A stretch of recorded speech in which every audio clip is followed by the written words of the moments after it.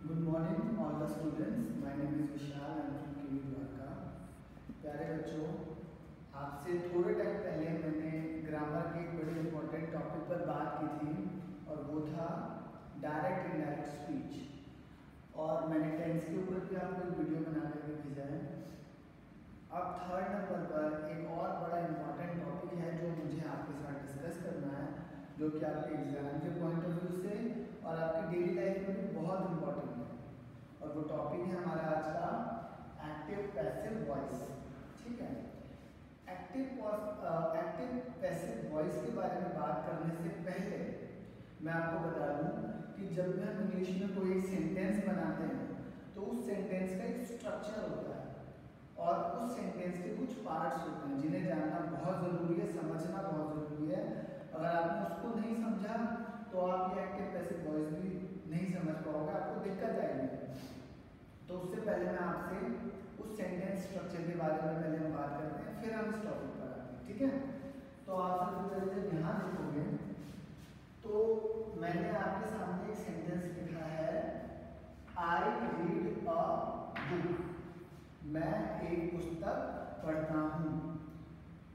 अब इस सेंटेंस के अंदर हमारे दो चीज़ें इंपॉर्टेंट हैं। नंबर वन सब्जेक्ट और नंबर टू ऑब्जेक्ट ठीक है? सब्जेक्ट और ऑब्जेक्ट अब क्या होते हैं? कई बच्चों को शायद इसके बारे में पता होगा, आपने कहीं से सुना भी होगा। लेकिन आज मैं पहले क्लियर कर दूँ आपको, उसके बाद ही हम आगे बढ़ते हैं। सबसे पहले सब्जेक्ट सब्जेक्ट क्या है? द पर्सन और थिंग परफॉर्मिंग एन एक्शन किसी भी सेंटेंस के अंदर, किसी भी वाक्य में वह व्यक्ति जो काम को कर रहा है, जिसके द्वारा काम को किया जा रहा है, उसको हम सब्जेक्ट बोलते हैं। सब्जेक्ट हमारा मेन पर्सन होता है जो किसी भी एक्टिविटी को परफॉर्म कर रहा है, ठीक है? अब जैसे इस सेंटेंस में बात करूँ आई रीड अ बुक मैं एक किताब पढ़ता हूँ तो यहाँ पर ये रीड क्या है? रीड तो एक एक्शन है है ना? इसको हम एक्शन को हम वर्ब भी बोलते हैं, है ना? तो ये तो हमारा एक एक्शन है। इस एक्टिविटी को कर कौन रहा है? यहाँ पर आई है। जिसके बारे में बात की जाती है, जो हमारा मुख्य बिंदु है, जो किसी कार्य को कर रहा है, उसको हम सब्जेक्ट बोलते हैं। यहाँ पर आई को हम सब्जेक्ट बोल रहे हैं, क्योंकि इसके बारे में बात हो रही है कि ये क्या कर रहा है है ना? और इस एक्टिविटी को परफॉर्म कौन कर रहा है? दिस पर्सन इसका जो भी नाम हो। यहाँ हमने प्रोनाउन आई यूज़ किया हुआ है। दूसरी चीज़ ऑब्जेक्ट क्या होता है ऑब्जेक्ट ऑब्जेक्ट का देखिए meaning the thing person that the action is done to वो कोई भी चीज़ जिसके ऊपर उस क्रिया का प्रभाव पड़ रहा है, जिसके ऊपर उस एक्शन का इफ़ेक्ट पड़ रहा है, उसको हम ऑब्जेक्ट बोलते हैं। ऑब्जेक्ट यहाँ पर है, आप बुक इसको हिंदी में बोलते हैं कर्म। ठीक है? हिंदी में बोलते हैं कर्म, इंग्लिश में बोलते हैं ऑब्जेक्ट ऑब्जेक्ट उस हर वस्तु या व्यक्ति को हम कहते हैं जिसके ऊपर असर पड़ रहा है किसी भी काम का। अब ये जो किताब पढ़ रहा है, इसका फ़र्क किस पे पड़ा? बुक पर। तो यहाँ पर ये बुक जो है, एक ऑब्जेक्ट की तरह है और यहाँ पर आई जो है वो एक सब्जेक्ट ऑब्जेक्ट और वर्ब ये तीनों वर्ड आपके लिए बहुत फेमिलियर होने चाहिए, ठीक है? अगला sentence Rahul is talking to Anil. यहाँ पर किसके बारे में बात हो रही है? राहुल के बारे में। तो यहाँ पर राहुल हमारा सब्जेक्ट है। एक्शन क्या हो रहा है?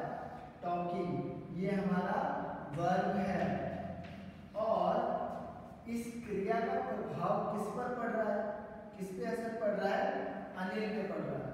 तो अनिल हमारा यहाँ पे ऑब्जेक्ट बन रहा है। ठीक है, आपको क्लियर हो गया? ये दो ही चीज़ें आपको समझनी है एक्टिव पैसिव वॉइस के लिए। अगला sentence I have finished my homework मैंने अपना गृह कार्य पूरा कर लिया है। तो यहाँ पर किसके बारे में बात हो रही है? इस पर्सन के बारे में। ठीक है तो यहाँ पर ये हमारा सब्जेक्ट है। ठीक है फिनिश माय होमवर्क यहाँ पे एक्शन क्या होगा वर्क क्या है? फिनिश्ड वर्क मतलब कोई भी क्रिया। कौन सा काम हुआ? फिनिश करने का काम हुआ। तो यहाँ पर वर्क है और ये होमवर्क हमारे लिए माय होमवर्क यहाँ ऑब्जेक्ट है। तो ये हमारा बहुत ही बेसिक कॉन्सेप्ट था। इसमें मैंने सिर्फ़ आपको इतना बताया है कि किसी भी सेंटेंस में सब्जेक्ट क्या होता है? वर्ब क्या होती है? और ऑब्जेक्ट क्या होता है? मैं दोबारा से रिवाइज करा देता हूँ बेटा। सब्जेक्ट वो होता है जो किसी भी काम को कर रहा है। डूअर परफॉर्मिंग द एक्शन जो भी व्यक्ति किसी काम को कर रहा है, वो हमारे लिए सब्जेक्ट है। उसके बाद वर्ब वर्ब क्या है? जो भी काम हो रहा है। हंसना, उठना, बैठना, खेलना, नाचना, गाना, सोना, बातें करना। कोई भी काम हो रहा है सेंटेंस के अंदर में ये जो भी काम हुआ, उसका असर जिस व्यक्ति पे पड़ा या उसका असर जिस वस्तु पे पड़ा, वो हमारे लिए ऑब्जेक्ट है। यहाँ पे असर जो पड़ रहा था, वो एक वस्तु थी बुक ठीक है? और यहाँ पे जो असर पड़ा वो किस पे पड़ा, एक व्यक्ति पे तो जिसके ऊपर भी उसका प्रभाव पड़ता है, वो हमारे लिए ऑब्जेक्ट का काम करता है। यहाँ तक आपको क्लियर है? अब हम आगे बढ़ सकते हैं।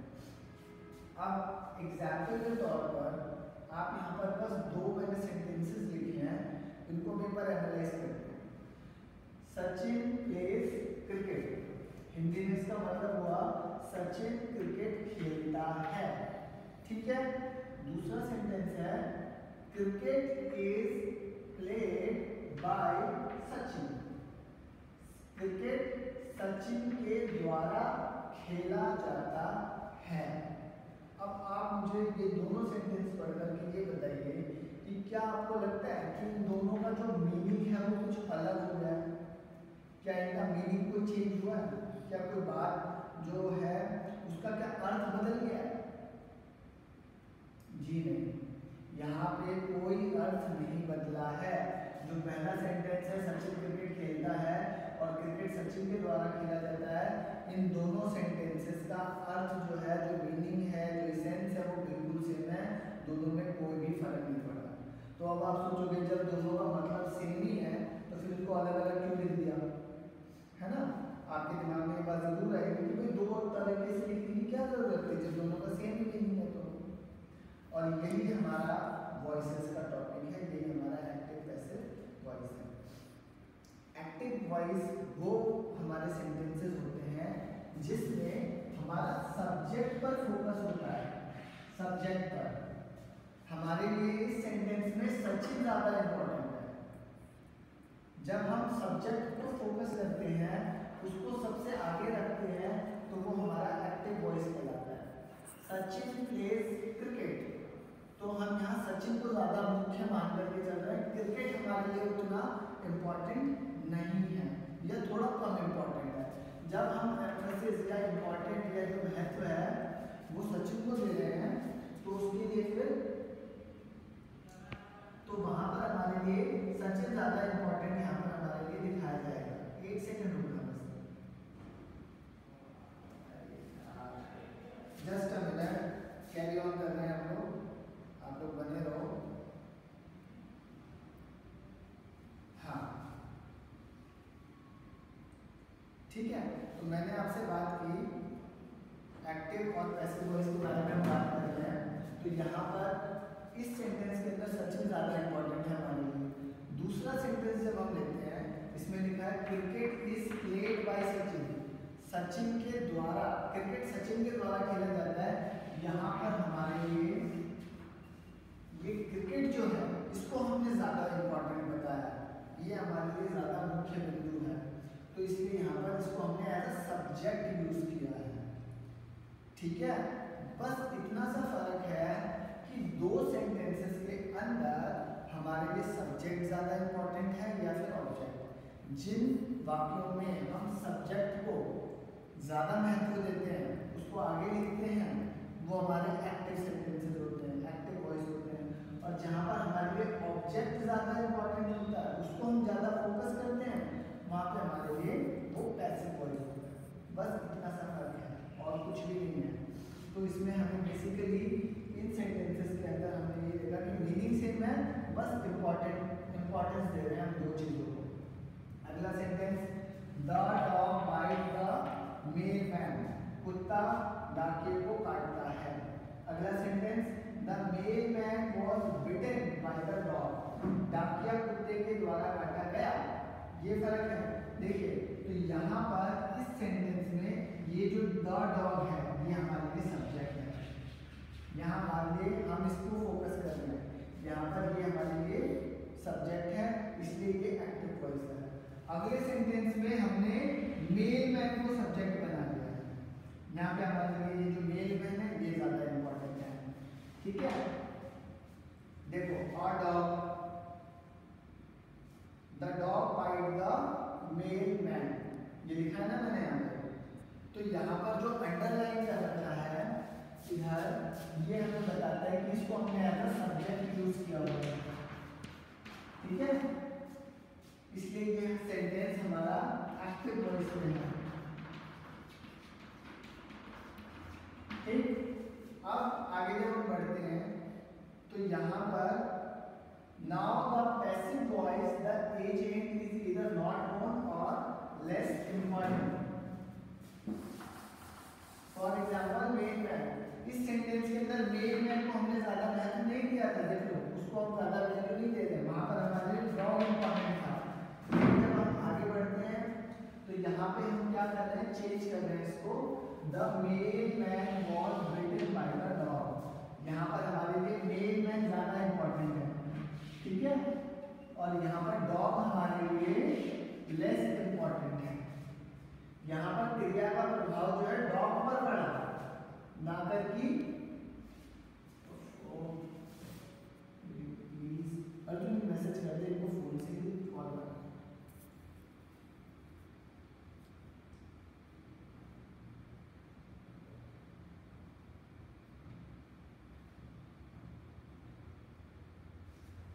तो बेटा हमने क्या किया है।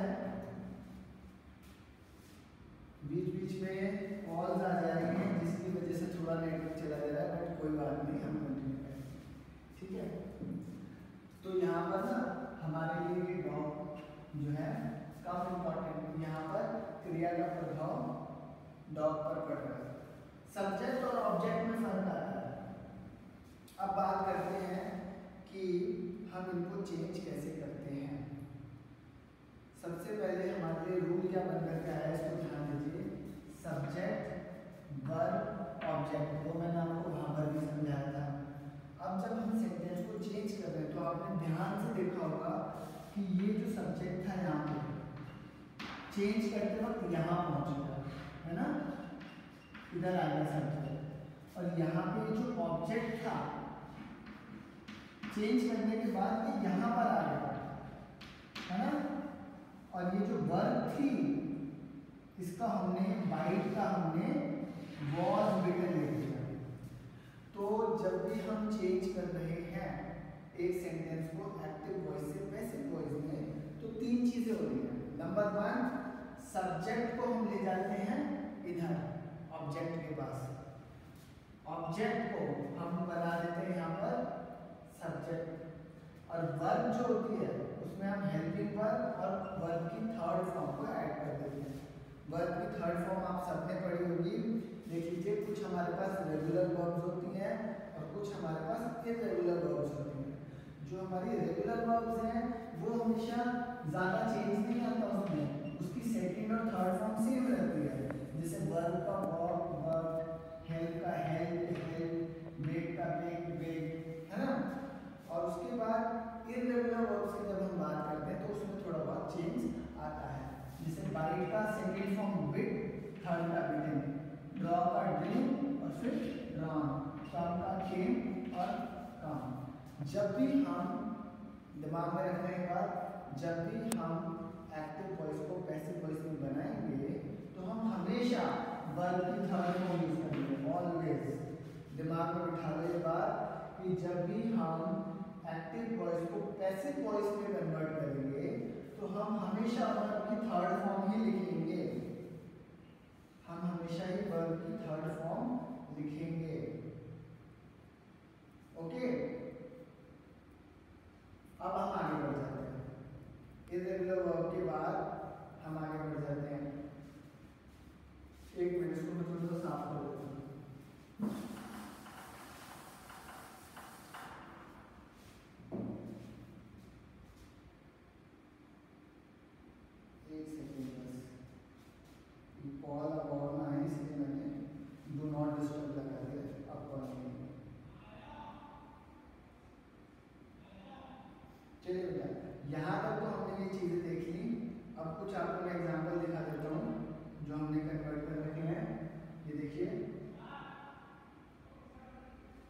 सबसे पहले सेंटेंस है द बॉल हिट जेनेट ठीक है ये जेनेट है इसको एक बॉल लगी तो इसका हमने सेंटेंस बना दिया द बॉल हिट जेनेट जब इसका हम पैसे बनाएँगे तो ये हो जाएगा Janet was hit by the ball इसको हम यहाँ पर ले आए, ठीक है?